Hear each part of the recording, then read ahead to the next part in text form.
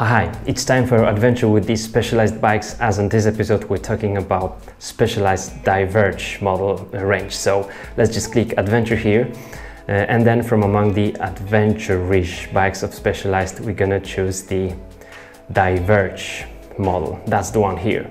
On this episode, I'm going to show you three frame sets available for diverging different uh, component setups. We're going to try to find out which one will be worth the price because these are pricey bikes, but tempting to, to purchase as well. And then at the end, uh, I'm going to challenge you with another question. Diverge or Roubaix. So Diverge versus Roubaix. Roubaix will be quite similar, also comfy and cheaper. So we're, we're gonna find out, try to find out uh, that about that one as well. Uh, so here are the uh, Diverge bikes. These are gravel bikes, so stiff, strong, still quite fast uh, with um, wider tires, so comfy as well and quite versatile because Diverge actually shoots for diversity, right? This is the, the whole range of uh, Diverge uh, bikes. We have, as I said, three different frame sets. First one is uh, carbon, full carbon one, uh, from Diverge Pro through Expert uh, down to the Diverge Comp. So the most expensive one, $5,500, the, the cheapest one, $3,300. So I'm gonna choose this one uh, and we're gonna have it right here. The next one is the alloy frame with full carbon fork and that's the Diverge with this, this uh, DSW um, symbols which stands for um, uh, Smart Weld Technology which is really smart. Those guys, this guy actually uh, invented the, the way of, of, um, of um, welding those frames, they are actually uh, hydroforming uh, those uh, joints uh, with the welds and the frames are stiff, light and look really, really uh, clean. So these are, start with Diverge Comp X1 through the um, Diverge Elite DSW. So I'm gonna have this cheapest one for $1,500 right here. So this one is still with uh, D'Aluisio Smart Weld technology.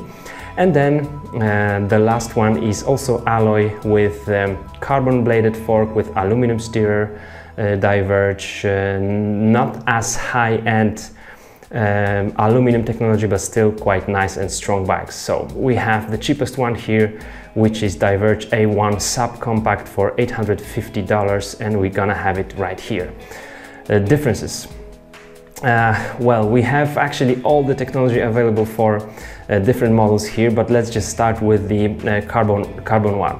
We have full carbon frame with uh, full carbon fork and Specialized used this stiffest and lightest carbon uh, fiber available for them, at least in their technology, which is the 10R carbon. I was explaining that in one of the previous video on on tarmac, I think. So the most expensive uh, uh, kind of carbon is through a whole range of carbon uh, diverge bikes. We have through axle in the rear, through axle in the front, something really cool. And of course, uh, tapered head tube, um, which is here the 118 uh, for 114 for lower bearings here. So really, really cool, cool bike. Now, what we have here in the middle is the aluminum super light frame with full carbon um, fact, specialized fact uh, fork. Uh, this one has also the tapered uh, head tube, which is same 118, 114. Uh, and this one has through axle only in the front and just like standard quick release in the rear. But still this one uh, has those Zertz inserts like um, absorbing uh, some vibrations for some bumps uh, on the rear triangle, here on the seat stays and in the fork. And then the third model, uh, the cheapest one, has no tapered head tube, has aluminum steering uh, tube, uh, carbon bladed fork with Zert insert only in the fork because here we have we've got only the shaping of those uh, seat stays and of course the quick release uh, in the rear. Uh, and also the difference, uh, one other difference between this line and those um, DSW and uh, Carbon One is that this one doesn't have internal ca cable routing, which doesn't bother me uh, at all. Now, very cool feature is that uh, these bikes can accommodate 32 millimeters wide tires. Uh, this one comes with 30, I think, 30 mils. Mm, where's the tire? Where's the tire? Yeah, yeah, this one comes with 30 up to 32 millimeters, and I think all the rest will come with 30 millimeters uh, tires. Uh, but uh, you can really feel the difference riding uh, wider tires. What will be the use of these bikes? Now, many people would use it as a commuter bike, just as cyclocross bike or any kind, other kind of bike. But this one you can really use for some fast training on the road. You can go a bit off-road, some gravel roads, some forests, some paths, paths, and on these uh, sleek tires you're gonna you're not gonna have a lot of grip but you're gonna have some comfort. So this is really cool uh, and this uh, and this feature on these bikes is just great. All of these bikes as you can see come with um, disc brakes and that's for a reason in my opinion. It's not only like some new feature. Um, these bikes you're gonna use in different weather conditions, uh, whether it be wet or maybe even some bit muddy conditions on some on some gravel roads. So those disc brakes will, will really give you some nice uh, stopping power uh, through all the range. And we are starting with Tektro Spire, if, if I remember well, um, which are like really yeah, they say just mechanical this. No, Techno, Tektro, Spire will not be available for this one, the cheaper one, but some, just some bit more expensive model will have really nice Tektro Spire uh, disc brakes and it will be cool. Now, which one is worth the price? Well, hmm, we've got $3,300 for the bike that will have that will run 105 um, components. It's mix of different components uh, with hydraulic brakes by um, Shimano as well and it's well it is quite pricey but this seat post um, and this uh, technology with through axles and the most expensive kind of uh, carbon fiber it really does make this machine a really cool machine and I would maybe wait till November December sales then you can maybe like have some bargain for like $2,700 or so uh, this one, I think uh, the middle one, the alloy one, is also cool. One thing missing here is the through axle in the rear.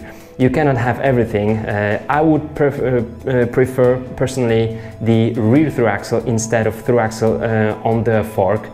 But still, we have here those disc brakes, so having this one on the fork is, um, is nice as well. It's really improvement. Through axle is really improvement. I, I feel it on any bike. Um, I'm sitting on with those uh, through axles and in just in the few days I'm gonna be testing for you guys also specialized bikes in Novo Mesto, Czech Republic on the World Champs.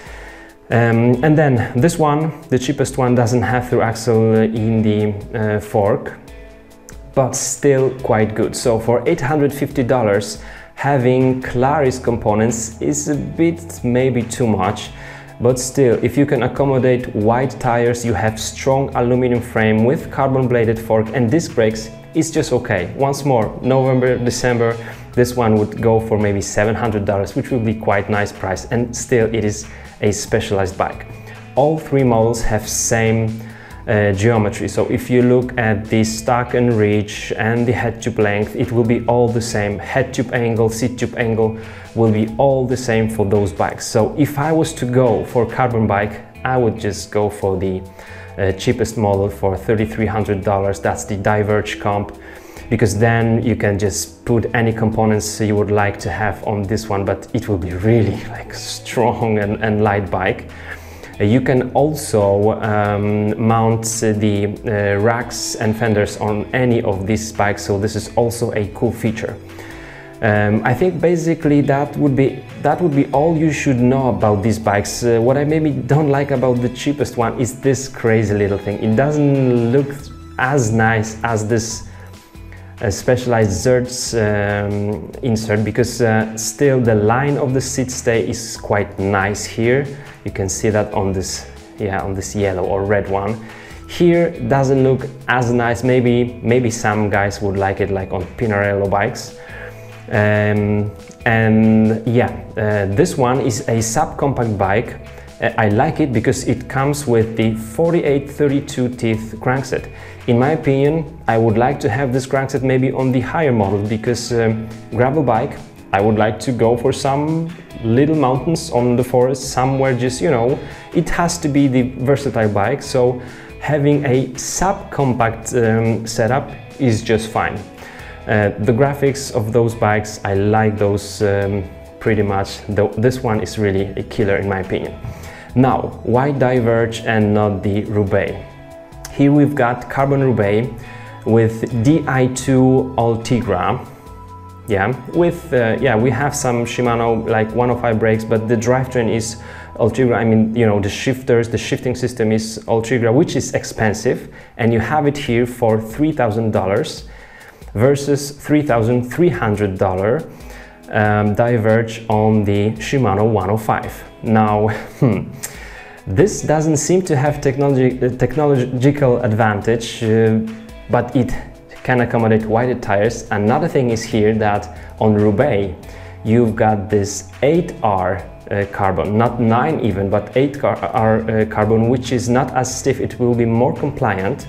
And here you've got 10R. Now I was thinking, why wouldn't they put 8R on the Diverge as well? And then I thought, hmm, perhaps they thought, they think we have wider tires, more compliant, more comfy tires, and we have those through axles, then let's give those people a super strong chassis with some comfortable tire and I think it, it's a point. I see the point there and uh, well, if you're gonna go for just versatile bike, this $300 more for a bit less in terms of the components is worth uh, just paying more. That's my opinion. Guys, if you're riding any of these bikes, let us know in the comment section that's pretty much it. The uh, geometry for both will be also the same. If you look at the geometry, uh, look at the stack and reach because head tube length will be, it will be longer for, um, for um, this uh, Roubaix because it doesn't have to accommodate 32 mil tires. So geometry same, head tube will be longer because here we have to fit some uh, some wider, just bigger tires. So that's it for this episode. Thanks for watching. Give me some thumbs up and I will see you in the next episode. Bye bye.